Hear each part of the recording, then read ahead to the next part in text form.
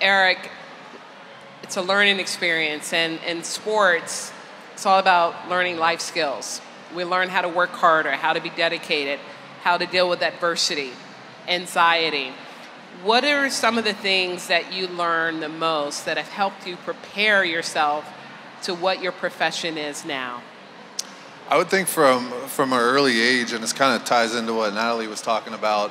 You know, never get too high, never get too low. Kind of just always be even keeled, act like you've been there before. Um, I look back on it, I kind of wish I would have probably celebrated some of those successes maybe a little bit more because you don't have them anymore. Um, but I think that was one of the things that made me successful versus maybe my my other um, other teammates or whatever along the way climbing the system.